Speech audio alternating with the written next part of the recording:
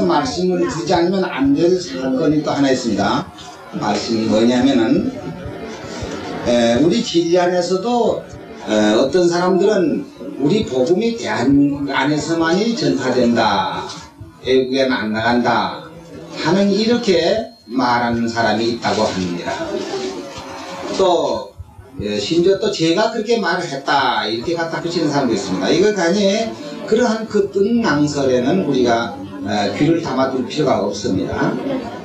그리고 한 가지 여러분들께서 궁금하시는 것은 뭐냐면 늦은 뒤 성령이 된다는 문제에 대해서 여러분이 더 이제 궁금하게 생각하실 겁니다.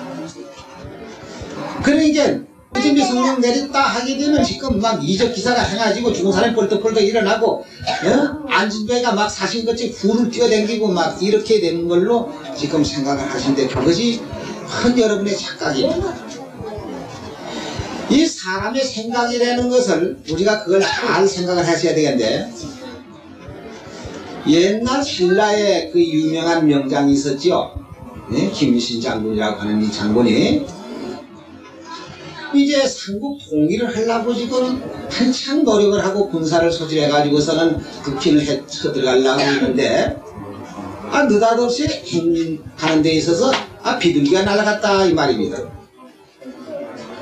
그 비둘기가 날아가니까 아 이거 평화다. 응? 이제 평화가 왔다 하고 그는 부사들의 아우성을 쳐.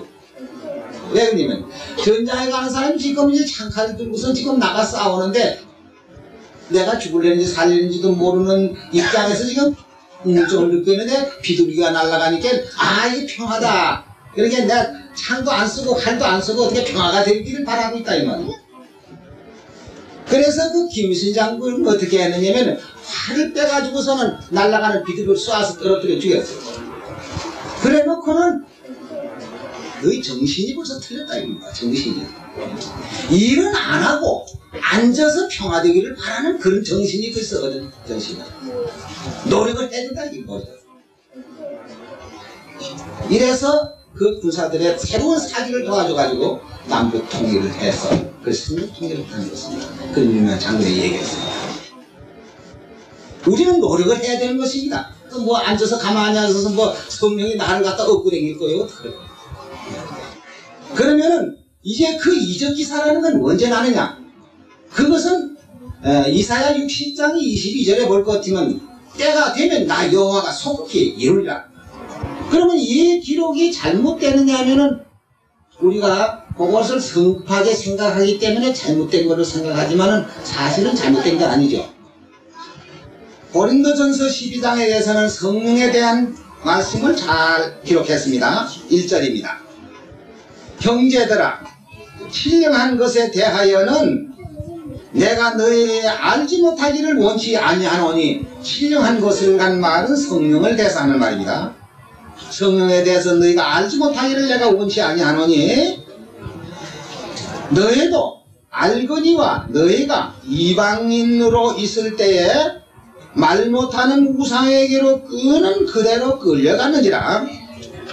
그러므로 내가 너에게 알게 하노니 하나님이 영으로 말하는 자는 누구든지 예수를 저주할 자라 하지 않고 또한 성령으로 아니하고는 누구든지 예수를 주시라 할 수 없느니라 그랬어요. 저는 이단에 속하 있는 다른 데서 예수를 주라고 한다고 해서 다 성령 받았다는 것이 아니라 진리 안에서만이 이것은 해당되는 말씀이다. 그 말. 그러면 4절에 다시 또 보겠습니다. 은사. 은사라는 건 성령의 하나님이 주시는 선물의 은사지요.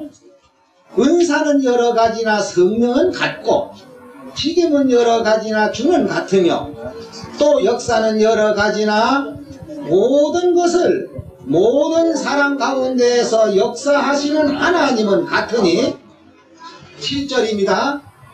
각 사람에게 성령의 나타남을 주심은 유익하게 하려 하심이라 어떤 이에게는 성령으로 말미암아 지혜의 말씀을 성경을 통해서 지혜의 말씀을 하는 것도 성령 받은 증거라 이 말씀이요 지혜의 말씀을 어떤 이에게는 성령으로 말미암아 지식의 말씀을 우리 지식의 말씀을 할 수 있는 것은 늦은 뒤 성령 받은 증거입니다.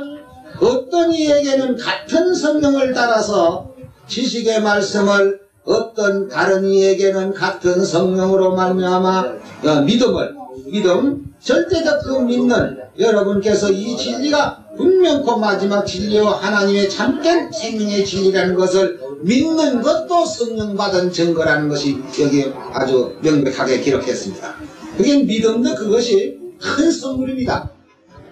믿음이 아니면 하나님을 믿을 수, 진리를 믿을 수 없어요. 그만큼 믿을 주신 것도 하나님의 성령의 역사라고 여기에 분명히 말씀했습니다. 그 다음에 성령을 주시고 예, 믿음을 어떤 이에게는 한 성령으로 병 고치는 은사를 어떤 이에게는 능력 행함을 어떤 이에게는 예언함을 예언하는 거 알죠? 앞에 미래사를 갖다가서 성령을 통해 가지고 예언을 하고 있습니다. 예언함을.